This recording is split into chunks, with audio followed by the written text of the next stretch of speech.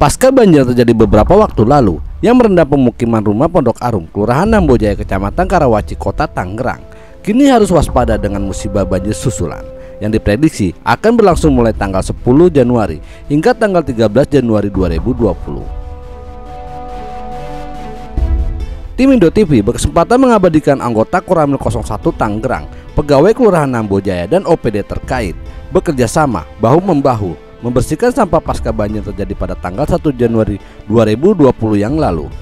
Dari rumah ke rumah dilanjutkan penampungan sementara untuk dibawa langsung ke tempat pembuangan akhir dan bertemu langsung dengan Lurah Nambojaya dan PLH dan Ramil 01 Tangerang pada Kamis 9 Januari 2020.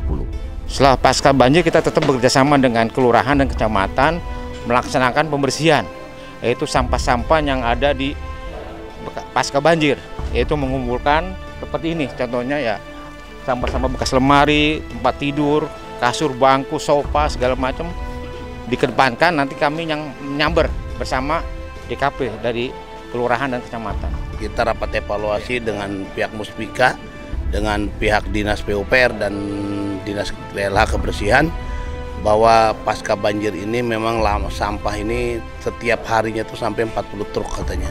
Jadi kita sudah datangkan loader dan sebagainya. Alhamdulillah hari ini RW 02 itu clear 100%, RW 03 itu 98%, RW 04 ini 85%, RW 05 80%.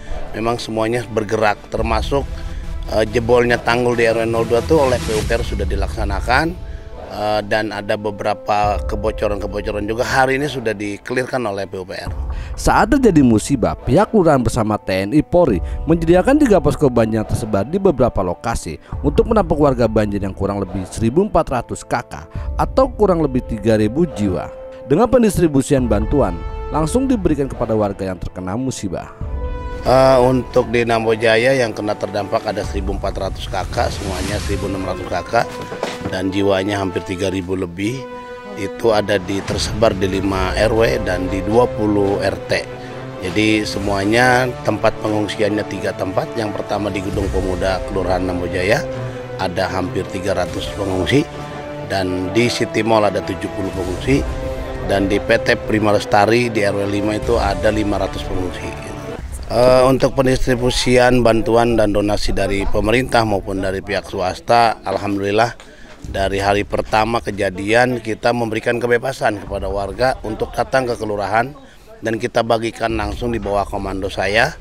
Dan alhamdulillah sampai saat ini juga penyaluran itu saya yakin 99% warga saya menerima bantuan itu walaupun memang uh, jumlahnya yang berbeda begitu. Guna mengantisipasi terjadinya musibah banjir susulan, tiga pilar TNI, Polri, dan pemerintah sudah mempersiapkan segala sesuatunya dari siaga posko, perahu untuk evakuasi, hingga lokasi pengungsian. Ada prediksi ya rencana dari BMKG bahwa akan datang banjir atau susulan yaitu dari tanggal 10 sampai dengan tanggal 13.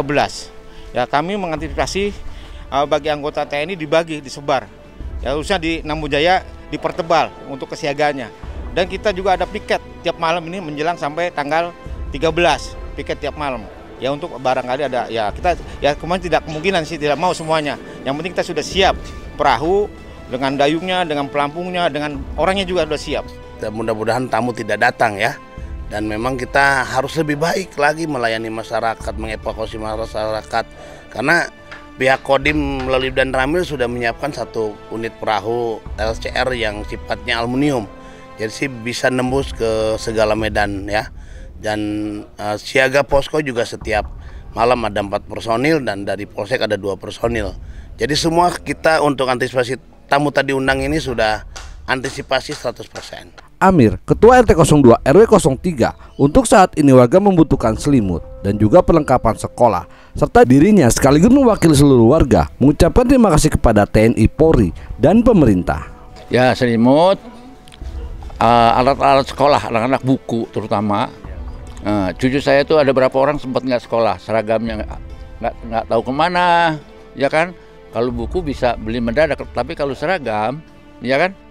Ya secara pribadi ataupun apa mewakilkan warga saya ucapan terima kasih banget saya kepada bapak-bapak ini terutama bin, bin apa Babinsa yang sungguh mulia ya kan mau memperhatikan kami rakyat yang sedang mendapat musibah gitu. Agar terhindar dari hal-hal yang tidak diinginkan akibat banjir susulan, pihak TNI menghimbau kepada warga untuk tetap waspada.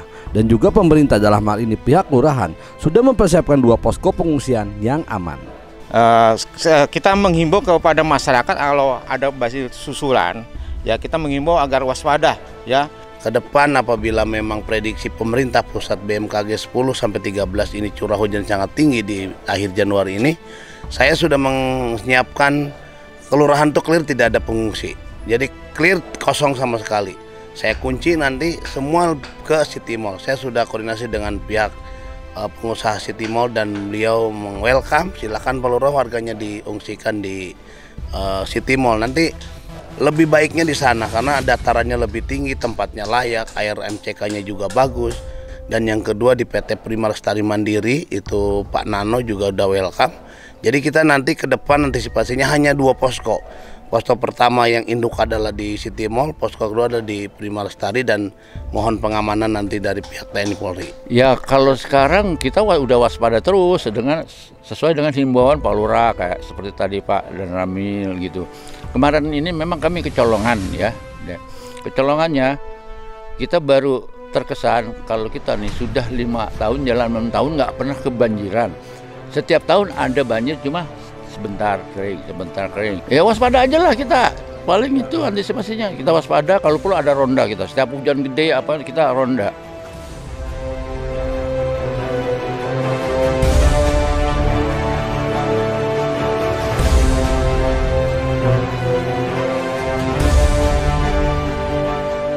Semangat terus, ayo. Nih pimpinan komandan, Kapten Infanteri Pak Suroyo. Cas yang selalu eksis. Uh, memimpin evakuasi di blok D ketinggian air dengan 3 meter. Ini ada Pak Mul ada Pak Ertondi ada Pak Fiti nah saya yang ada nih. Kodim 056 Tenggarang